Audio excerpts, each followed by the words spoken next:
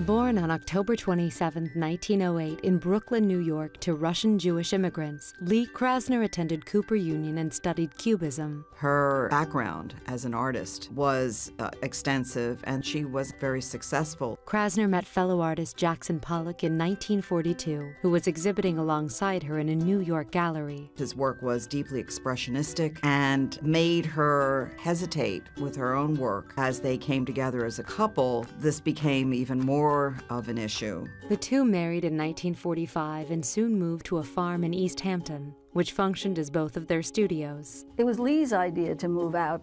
Jackson decided that they should move out there permanently, buy a house, and settle down. Now, Lee was very skeptical about this because they had no money. It was at their new home in 1946 that Krasner found a new direction for her Little Images paintings. I think that she worked small because this was a very practical thing. She was working in a back bedroom in the house where Jackson Pollock had taken over the barn and used that as his studio so that she was working on an easel primarily. He was working on the floor.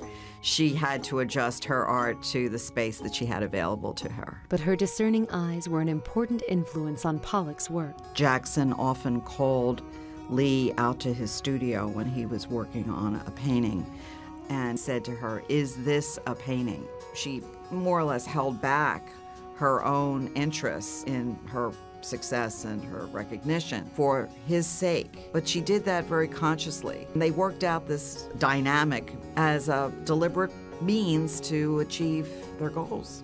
Theirs was a turbulent relationship, often in a state of unrest. Initially, it was a love affair. I think there, it was problematic because of Jackson Pollock's drinking. Following Pollock's death in an automobile accident in 1956, Krasner created a new series of enormous paintings. After his death, she moved into the studio that Pollock had used and she began to work much larger. Also, more color appeared in her work and she became involved with, I would say, much more exuberant canvases. In the 1960s and 70s, Krasner continued her artistic exploration and her work experienced a revival. Krasner died in 1984. She is considered one of the prominent figures in the abstract expressionist generation. She always had this problem of being Mrs. Jackson Pollock. The women's movement gave her a chance to have recognition on her own.